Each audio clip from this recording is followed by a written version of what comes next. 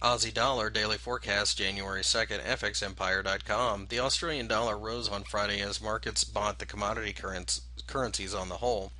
Even with the oil markets falling, the gold markets did do well. The Aussie is very sensitive to these moves in the gold markets, and as a result, uh, the rise was shown. The rise could also be a result of end of the year position squaring the 103 does see a cluster that should be resistive, and you can see that it pulled back a little bit during the session.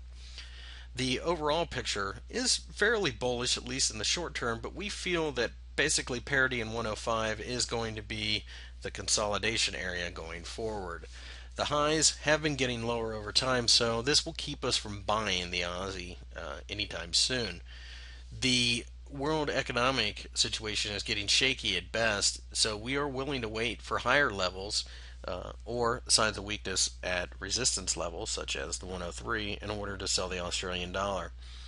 Headline risk are certainly the downside, and the fact that China may be slowing down should weigh heavily on the Australian economy and, by extension, the Australian dollar.